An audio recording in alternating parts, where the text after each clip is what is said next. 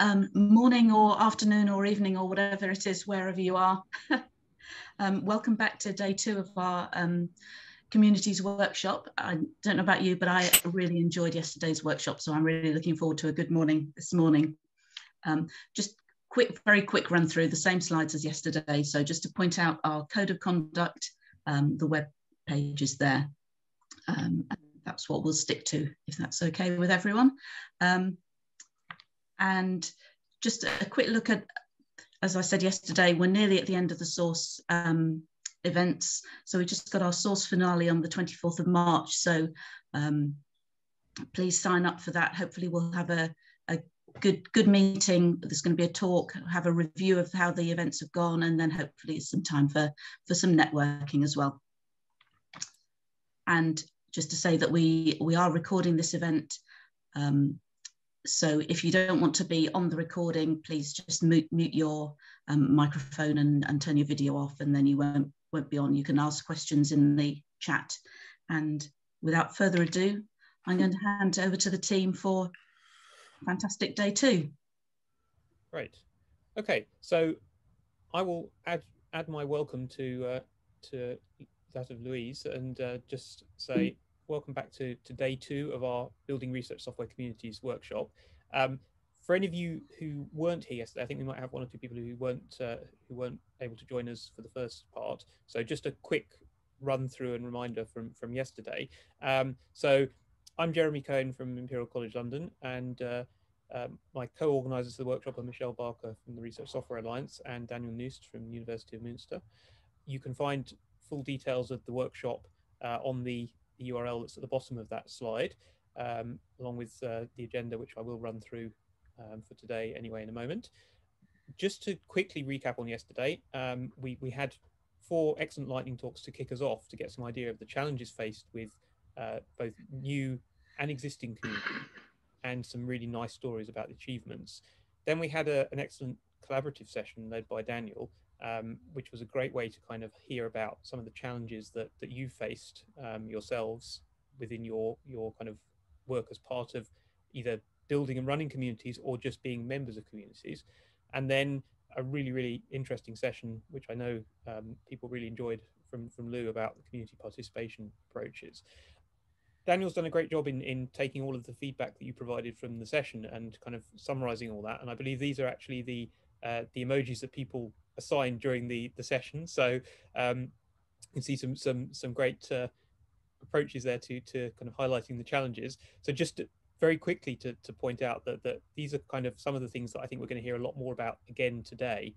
So you know a lot of common challenges that people have faced um, in terms of their their either work building communities or participating in communities, and you know really this can be summarized into these four areas. So you know there's real challenges in in finding people who want to engage with these communities, even though we, we kind of know they're out there. So, you know, anecdotally, we see a lot of a lot of interest from RSEs in being part of communities and getting involved, but it's often difficult to, to find the RSEs who are sort of embedded in um, in research groups and whatever around institutions. There's there's a lot of um, interesting issues around organisation and communication and how you how you manage that, and also in in ensuring that we can maintain ongoing engagement and the expectations that we have of both our community organizers but also the participants of the communities. And you know really to kind of tie all that together i think these issues around in incentives and recognition and how do we actually find the resources to keep these communities going. So some really interesting points there. And if you go to the the collaborative notes document from yesterday which i will highlight the link to in a second uh, you can find daniel's full summary from the session um, with all of the kind of comments and points there. This is just a sort of condensed version so do go and take a look at that. Um, some really, really great points there. So just to to now give you a quick overview of today's agenda. So we've had our, our intros. In a minute, I will be handing over to, to Lou Woodley from CSCCE, who's going to um, run a session on community champions. Um, and then after the break, we will have a session on community sustainability from Toby Hodges and Sarah Rono from the Carpentries. Um, so I think two, two, two really interesting sessions there where we'll be able to, to kind of learn a lot more about community uh, sustainability and how to kind of champion and maintain communities. Quick reminder about the notes document. So we're, we're running a second collaborative notes document for today. There's the URL to that. Uh, the two documents are cross-linked, so you can get back and forth between day one and day two from the links at the top of the documents. Um, so if you want to go back and look at uh, Daniel's summary from, from his session or any of the other notes from the sessions yesterday, you can get back to the day one document through the, the links there. And just finally, before I hand over to Lou to highlight that there's lots of ways to get involved beyond the the workshop. We will highlight these again at the at the end, but do do take a look at some of these different opportunities to engage with the with the communities that are both involved with this workshop, but also some of the wider communities in the space.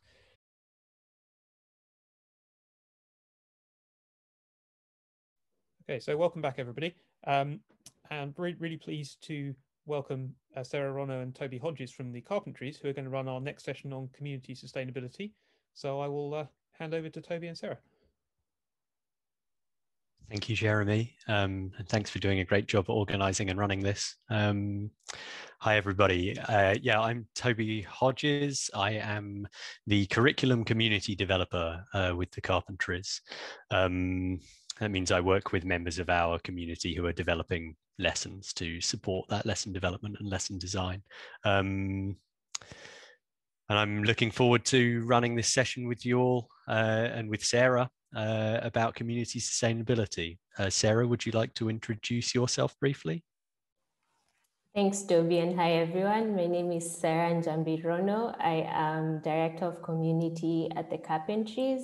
Um, I'm based in Tallinn, Estonia, and I'm very excited to be speaking with you um, about community sustainability today. Thanks, Sarah. Um, so in the break, uh, we copied and pasted a bunch of new sort of agenda material um, at the bottom of the um, the shared document that hopefully you're all already connected to. Please post into the Zoom chat if you need a link to the um, to the notes doc again.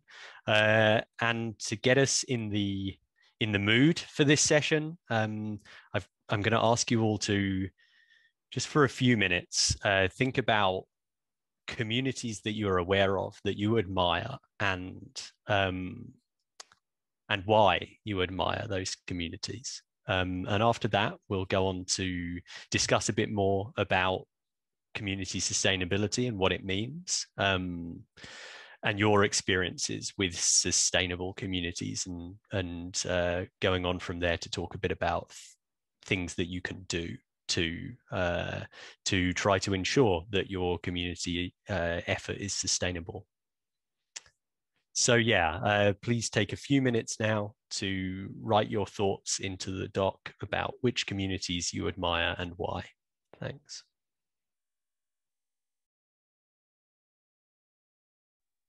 I can already see from the responses that have gone in so far that the UK uh, research software engineers community has a lot of uh, admirers in the group. That's good to know.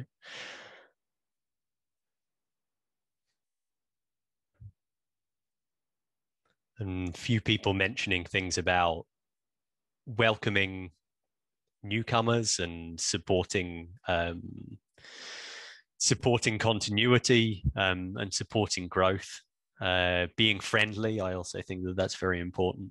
Um, I'm going to give you 30 seconds more to write in before I hand over to Sarah. Um, but please, if you haven't finished in that time, um, please feel free to keep typing. Uh, it'll be really good to be able to refer back to these notes that you're putting in as you go along. And so, yeah, it's nice to see quite a lot of you identifying aspects of sustainable community efforts, looking at um, as mentions of long-term visions and uh, establishment of of leadership programs and structures and things like that. Uh, we're going to mention a bit more later in the uh, in the session. So, Sarah, Mm-hmm. Would you like to take us through the first um, or the next question, I guess, and the discussion around that?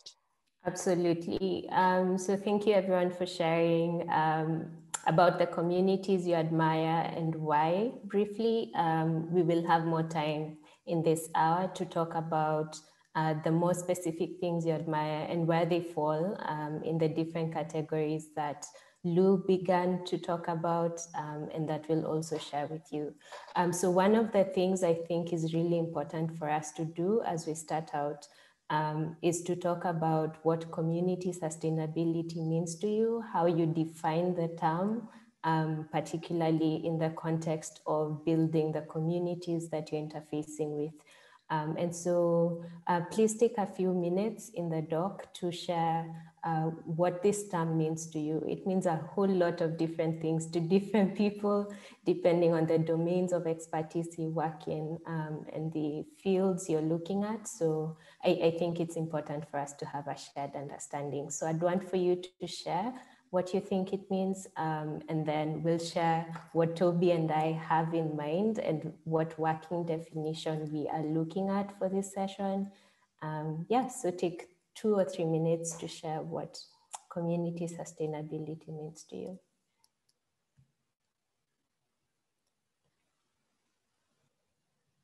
I really like um, the mention of existing processes, a vision that's clear to everyone, a, um, a, set of values that are shared by everyone in the community. Um, I like the last point about new members coming in and other people leaving the community without it shaking um, the foundations of the community. Passing knowledge to new members, that's very good. Love that. Um, so some sort of peer mentoring processes going on in a community. Keeping people active over time. Turnover seems to be um, a big um, a big item of discussion here, so we'll definitely make sure to focus on that. So community ownership is also a big um, topic that's coming up here. Um, not one person, um, like community growth is not attributed to one person or existence is not attributed to any one person.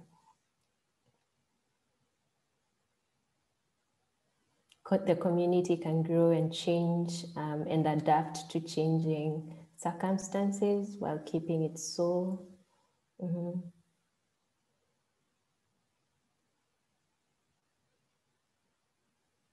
Finding ways to keep people active through and through. Right. These are really great. Um, onboarding and outboarding. this is one of Toby's favorite topics, so you'll definitely hear about it at some point today. This is really great. Thank you for sharing. Um, all right, so I'm going to share with you what Toby and I um, came up with as a working definition for our session. Um, it's it's definitely not you know written in stone and can be expanded, um, and we welcome your thoughts around this. Um, so for this session, we are defining community sustainability as the ability um, for any given community, whether it meets online or in person, um, to continue serving value to um, its incoming and existing members uh, over time.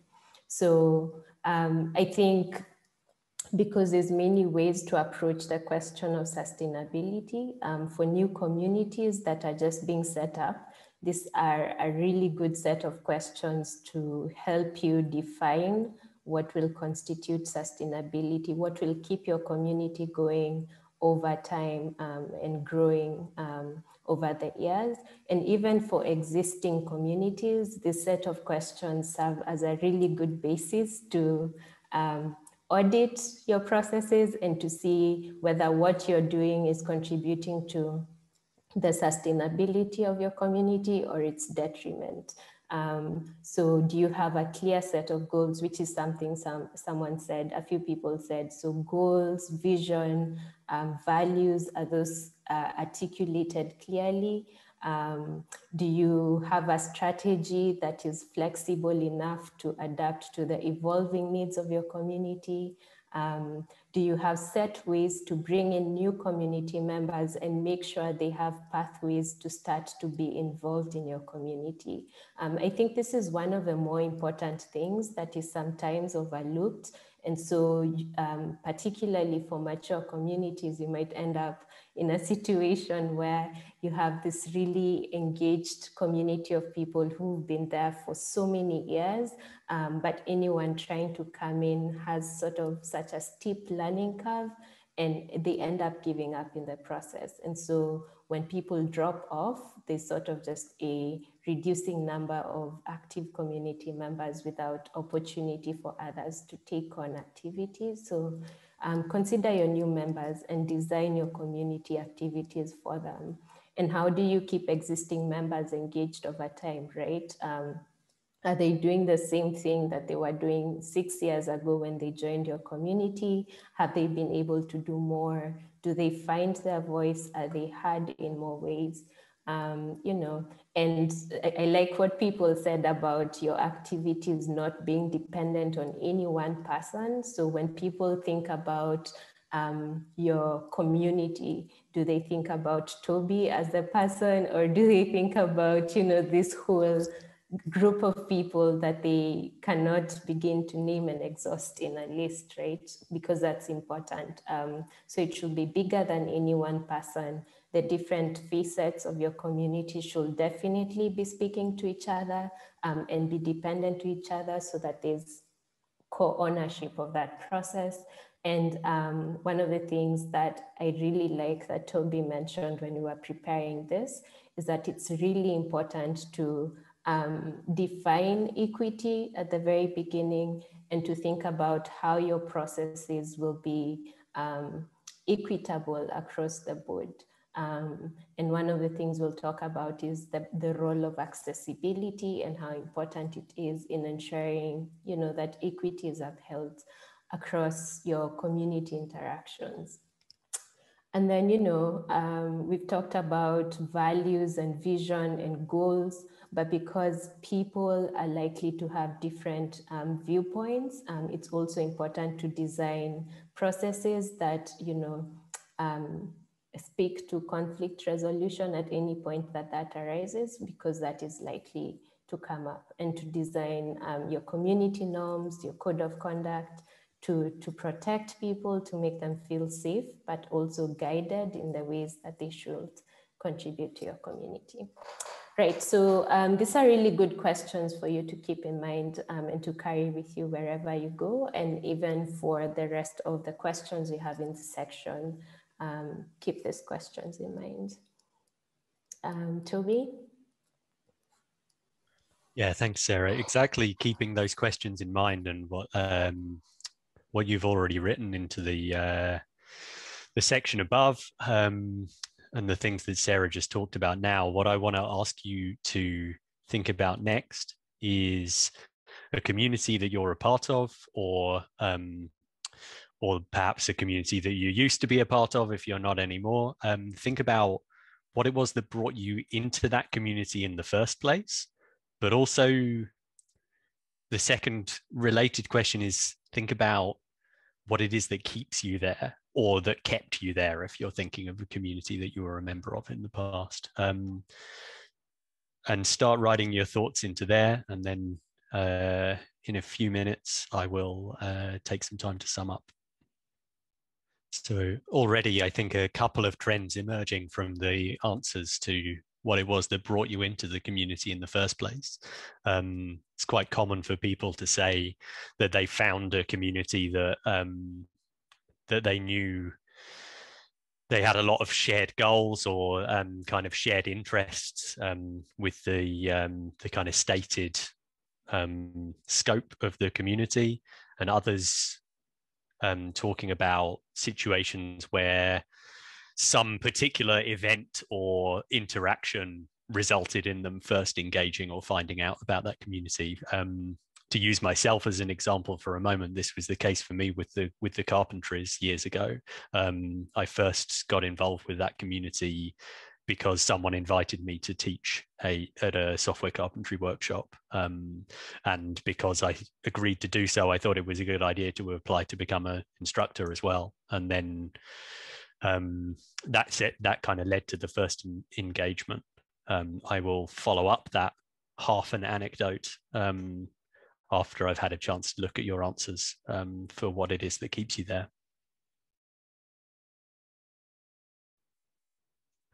And so, looking at these responses to what it is that keeps you there, people talking about a sense of belonging and also a feeling that they are benefiting from involvement.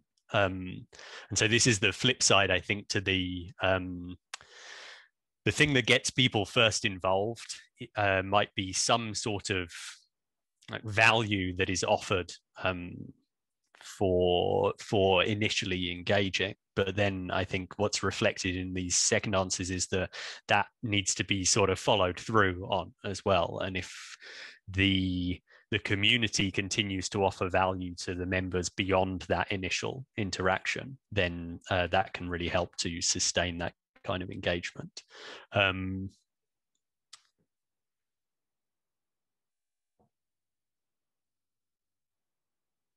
yeah, it looks like my web browser has completely given up the ghost on on following up those updates to the to the document. So Sarah, could you scroll down a little bit so that I can see if there are other responses below? Um, and yeah, someone talking about um, peer support, which is really good to hear, like the opportunity to connect with other people who are interested in similar things and who can provide advice um, or or feedback um, and recognition within the field for being part of the community. That's a really important one as well. Um, thank you for that. So I will try to copy and paste something into this document and we'll see how it goes. Um, but perhaps, um, Sarah, you could put the slides back up. Um, oh, it worked. Great. Um, so one resource and sort of framework, I guess, that I found really um, uh, really valuable when thinking about this kind of sustained um, engagement with the community uh, is this model um, from the Mozilla um, Open Leaders Framework um, of the mountain of engagement, which talks about people coming in at sort of the bottom of the mountain um, is their first contact with the community, and then um, or or with the project. Um, in some cases, you talk about this in terms of a project as well, um, and then needing to find ways to sort of facilitate their climbing of that mountain to get more and more involved and to participate more and more um, in the activities of the community and and even then reaching towards the the higher levels of the mountain um, to take on leadership roles within that community as well. And so uh, that framework provides some some questions to think about um, uh, as a community leader or a community manager uh, to help people sort of engage with the community and to um, and to yeah facilitate that process of getting more and more involved. Uh, so you should think about how it is that a um, that a potential member will first hear about your community and what that first impression that they will get is um, about what your community is about and what your your values are. Um, how are they first going to engage with your community? Uh, how are they first going to contribute? So going beyond reading about the community or attending something, but not really um, talking during it. Uh, how do they continue contributing after that first time? Um, and how will they network within the community to make connections um, with other community members? And how do they begin to take on additional responsibility and leadership? I think um, these are really important questions to think about because uh, they it's important to be intentional about all of these things. I think these things are sometimes going to happen organically, but they're going to happen much faster and much better, I think, in a much healthier way if you're being intentional about how people move from one step to the other. And Um, somebody mentioned earlier a uh, open, open source projects in the in the comments in the chat, and how a lot of open source projects have not they struggle to um, i guess to increase the size of the kind of pool of key maintainers or, or kind of core developers working on a project. And what i really want to encourage you to think about and that this mountain of engagement model encourages you to think about is how actually that process of um, increasing your pool of like core key contributors starts right at the bottom of this mountain. You have to be thinking about how you bring new people in and how you help those new people get more and more engaged with every step of the process to funnel people eventually into um, into that kind of core group. Not everybody is going to become a member of that core group, and that's not the point. The point is to try to make sure that anyone who has the capacity and the interest to move up this mountain knows the paths to be able to do so. Uh, how are we doing for time? I think I need to hand over to you, Sarah. So I'll, I'll just say um, there's a couple of links in the document to Mozilla um, resources around this, the mountain of engagement and a description of contributor pathways, uh, which is, is very related to that in my experience. And then uh, the final link here is to uh, a template created by Mozilla for you to, to help you to think about the mountain of engagement as it relates to your particular community and to try to be intentional about that planning. Um, okay, um, over to Sarah for question four. Awesome. Um, that's that's really great. So we, we've talked about the communities that you admire and um, why you admire them.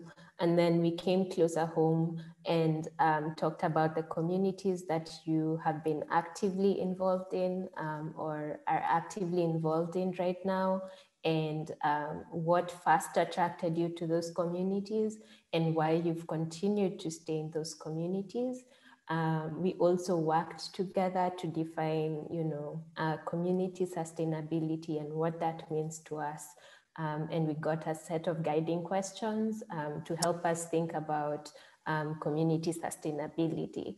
And now what we want to do um, is thinking about the mountain of engagement that Toby has, has just shared, um, place some of the um, activities that you've observed in communities that you admire or communities that you're a part of um, and place them in those different stages that there are um, in the mountain of engagement. So uh, we want you to start thinking about how the communities you belong to or have been a part of or know about promote sustainability and to share resources like links um, to that expound on this um, on these activities that promote sustainability um, or just share your stories in writing.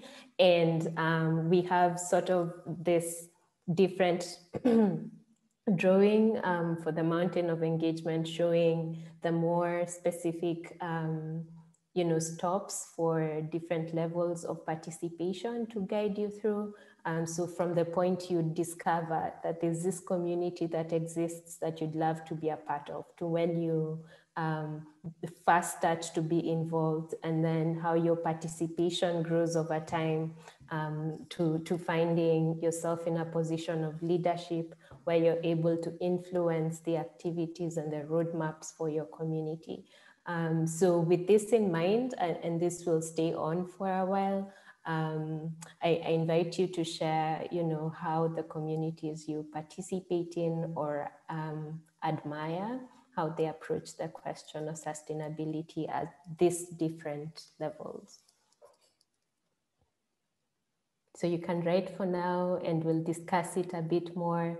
Um, and I'll probably invite some people who would like to unmute themselves and talk about some of these um, communities and activities if you like. I really appreciate the vulnerability, um, the, the, the people that shared that they don't do this yet, um, and and that's that's completely okay. That's why we have this session and i think in the next section we're going to be talking about some of the challenges you shared yesterday and how you know we can begin to um, look at some of the resources that have been shared here as a way to begin to alleviate those challenges and um, for people who are only beginning to think about community sustainability um, what what might be good starting points for you. So that's completely okay. I really like the um, staggered trustee term. So um, it's it's similar to something I've seen done well at the carpentries where um, any two leadership bodies that exist um, sort of have an overlapping period uh, where they both serve so that there's a, a complete handover process, but also so that there's um, a lot of hand holding at the beginning, which, which really helps with moving the work along um, and without uh, making people who are coming in feel more overwhelmed um, than, than they really need to be. So that's, that's really cool.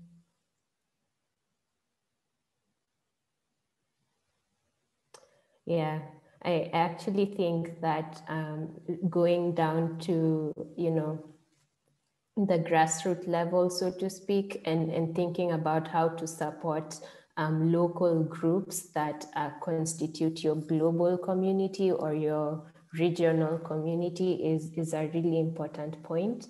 Um, so you, you mentor people, you create resources to support them as they um, set up local affiliates of, of your community.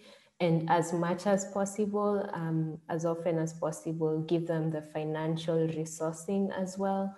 Um, I know this is, is not always possible, but um, in situations where it is, setting up a community fund that um, specifically speaks to this is, is a really crucial um, point.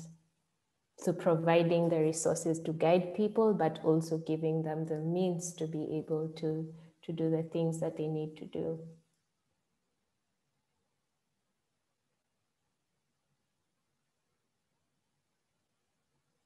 Right. Um, someone says grow gradually versus grow rapidly. And I think this was one of the questions that was raised um, in the champion session. Um, you know, the, the place of affording the people who are really excited about getting in and doing the work um, versus creating processes to make sure that people who won't necessarily, you know, jump at the opportunity, but if invited, they will come in and also do the work well.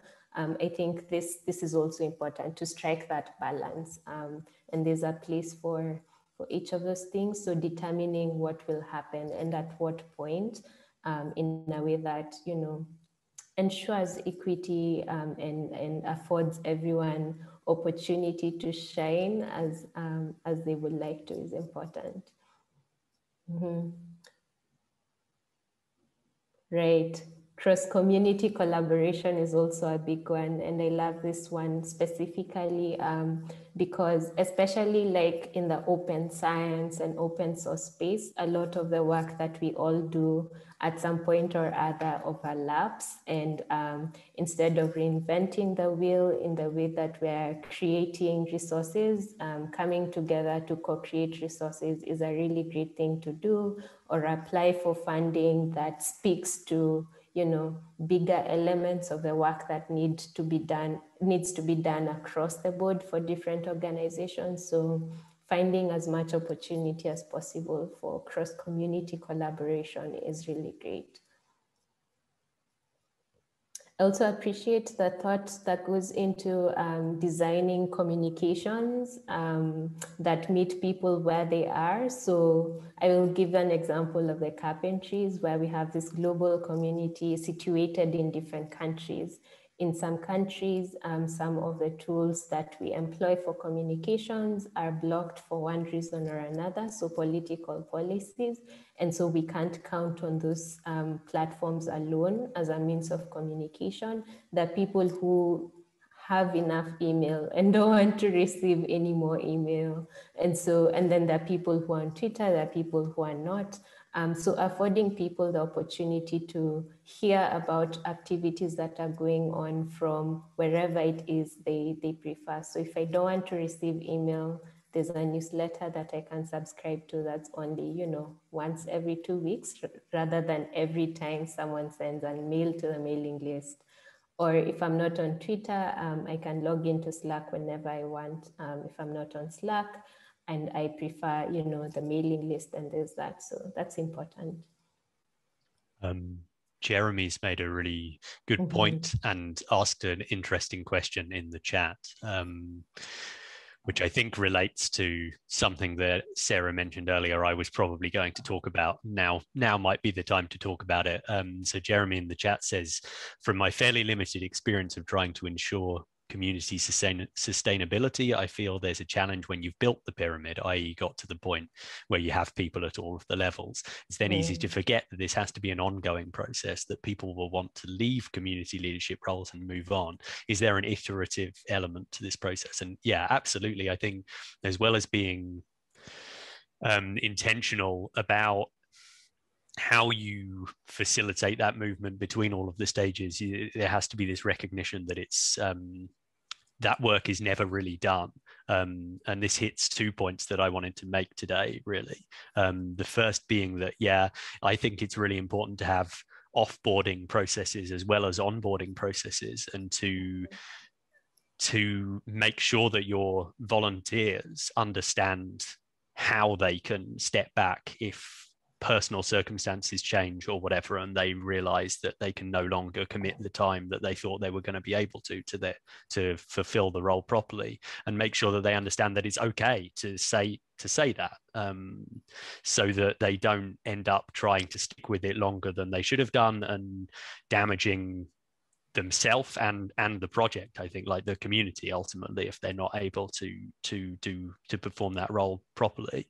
Um and then the other thing I wanted to mention that's implied, I think, in all of this, um, but that I really want to drill home while we've got the opportunity is that all of this requires the kind of infrastructure to be there, the person infrastructure to be there. Is we're, we're talking a bit about systems and resources and processes, but you need the community manager there or or multiple community managers perhaps there to make sure that all of this is happening um, and if you are the only person who's responsible for this for your community and your um, your employers or whoever is kind of the the leadership above you is not providing you with the resources and the time to be able to do this effectively then in the end a community your community is not going to be sustainable because your efforts as a community manager are not sustainable. Um, i'm probably preaching to the converted by saying that to this audience but i do think it's a really important message to uh, take home and to tell the people who make decisions strategically within your organization if you are within such an organization uh, to make sure that they understand the importance of that person infrastructure as well Right. Um, I think uh, in addition to what Toby has said, and I think um, speaking to a question about some organizations being overly structured um, or feeling like they're overly structured and, and that that gets in the way of, you know, um, innovation, so to speak. Uh, one of the things I think is really important um, as you think about the question of sustainability is um, uh, fast um, listening to your community. So, like someone said, having surveys or feedback systems where um, continually and periodically you're hearing from people about the experiences with the structures you've put in place, uh, what is working really well, um, what's also not working and also knowing what you will do with the feedback when it comes in. So when people tell you something is not working, what do you do about that? So I think a big element of community sustainability is making sure um, that you are open to learning and relearning and your infrastructure and systems are also designed in that way. Um, you know, that um, they're not stifled, so to speak. There's always wiggle room. Um, a good way to do this is to involve your community in the co-creation process. Someone said that's probably the slower method, but I would argue it's also the surer method um, because if community um, is part of the co-creation process of these initiatives, there's of course, ownership, co-ownership, which keeps people there, but also it ensures that because you've started working with community to co-create, when things change and things need to be shifted, it's community that still will be involved in that process. And so you're continuing with that um, community-led process in designing your initiatives, um, which sort of allows allows for lots of room to learn, relearn, and unlearn things as you go along. Um, you have to be very flexible along the way. Um, this is really great and thank you all for sharing. Um, I think because of time, we have to revisit um, yesterday's challenges. I know we could easily spend a day here because um, there's lots to talk about here, but I'd like to afford um, the time to discuss the challenges that were shared and highlighted yesterday and some of the ways we're thinking about um, you know, addressing this or suggesting. Okay, just trying to fight off a sneeze for a moment. Uh, bad timing. Uh, yeah, so revisiting the the challenges that you all highlighted yesterday, and then looking at some resources that are available to help you tackle sustainability related challenges. You'll see in the next section of the document. Um, I've summarized again the um, uh, the areas, the sort of categories that the challenges you identified fell into. Um, and those were uh, thinking about engagement and um, incentives for for contributions. Um, managing, I guess, the expectations of the um, of the community members or potential community members. Um, communication, uh, how to um, how to sort of choose a platform and get people to engage in communication on that platform and reaching critical mass. Um, accessibility, Sarah mentioned earlier, and I think this is really important to um, to think about as well uh, when considering the the ways that your that your community will communicate um, and participation in general. Um, how to how to predict how and when people will participate um, uh, how to help potential members decide whether or not it's something that they want to participate in. And I've pasted just now a list of um, of resources that Sarah and I have put together, um, and also linking to some of the ones that, that Lou shared earlier as well, um, broken down into the um, broadly into the kind of stages of the um, the mountain of engagement I, i'm mixing my metaphors a bit i should think about like the plateaus on the mountain or something um, as you're climbing it uh, and some resources that you can refer to to support each of those different um, state like levels of engagement up as you climb that mountain. Um, I've also left some space, and I really want to encourage all of you if you are aware of any other resources or tools that you'd like to share with people that are helpful for these particular um, aspects of, of community sustain- sustainability. So please also share them here. Um, full disclosure, I guess uh, Sarah and I are planning to write a blog post um, to follow up from this session, um, where we will probably summarize uh, uh, towards the end the um, the list of resources that we're sharing here. So if you are sharing specific resources, please, and if you're comfortable to, please add your name next to the ones that you're sharing, so that we know to credit you um, uh, when we're writing about this. Uh, and I will, don't have a lot of time, but I'm going to highlight a few that I think are, are particularly important. Um, I'm a big fan of the um, contributors guide from rOpenSci that I know um, Lou and the CSCCE and the um, Community Engagement Fellows program uh, was a very influential on as well. Um, that's a really great example of, of a few things that I think are important for sustainability. Um, welcoming people um, and providing a relatively quick way for them to find the information that they specifically need that's relevant to the kind of um, engagement that they want to make with the with the community, uh, the type of contribution they want to make, or the information that they need to get out of the uh, of the the guide, and also, and I think this is crucial, it provides estimated time commitments associated with each type of engagement um, to help people really um, interrogate, I guess, whether or not they actually have the time to do to devote to do something um, fully.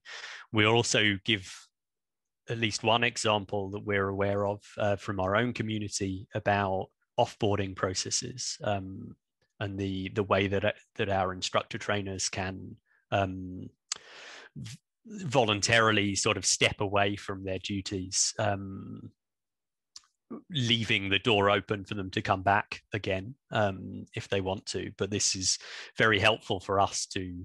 Um, I think a question that's come up a lot is around how we can plan, uh, how we can plan activity on the kind of whole community level, based largely on volunteer efforts, and having this way for people to tell us when they want to step back because they don't think they will have time to to perform their duties within a particular role this is really helpful for us to get a, a more realistic idea of what our capacity is um, for a given period of time um, and there's a lot more in here as well uh, that sadly I think I don't have time to go through in in a huge amount of detail. Um, we're mentioning things like peer mentoring programs. If anyone's got any other examples they can link to of, of peer mentoring programs in communities, that would be really helpful. Um, centering accessibility, um, we've shared a resource um, and a checklist there as well for you to look at.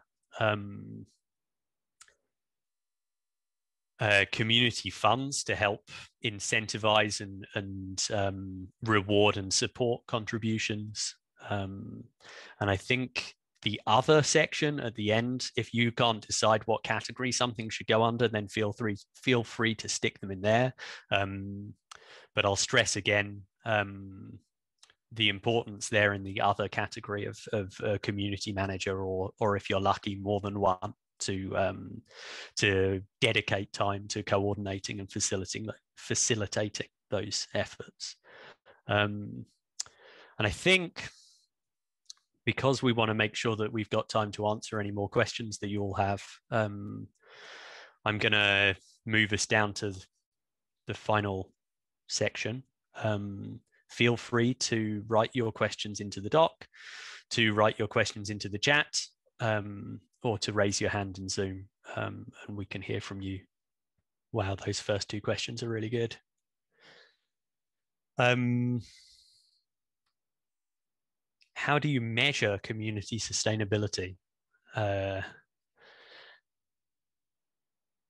good question. um, I think this is a really difficult thing to do. I think um, one of the one of the main challenges that I've encountered through the time that I've spent working in community management has been measuring things in general how do you measure the impact of a community as well? Um, uh, and i think that there's this sort of passive way to measure it which is over time to get an impression for whether things seem to be like tailing off. And you can also measure specific types of engagement that people are making i think keep track of of the number of people who are communicating on the on the platforms and um, uh, the number of uh, whatever your your types of contribution are that that are really important within your community to try to make sure that you're counting those and keeping track of the the overall trends in those. Um, but i think the the specific metrics that equate to engagement um, will vary from community to community. If you're doing things like trying to establish um, leadership structures, for example, within your community, then a good way to measure the sustainability of your community is to look at um, how many people nominate themselves for election to those positions. If you're if you're doing community elections, and um, I think as well the sort of geographic um, or like the diversity of those candidates in general, um, depending on the on the geography or the the demographics of your community. Um, Sarah, did you have anything you wanted to add on this? No, I, I think both you and Lou have covered it well. Uh, one of the things I also look for is for initiatives that have existed for a long time. Um, every time you put out a call for applications or people to be involved, um, are you getting, you know, increased number numbers of people applying, um, or it's, you know, the same six people that are serving in other initiatives and other areas of your community also applying to this. So if you're continually attracting uh, new voices, that's a really good way to check um, that you you're sort of moving in the right direction and right path.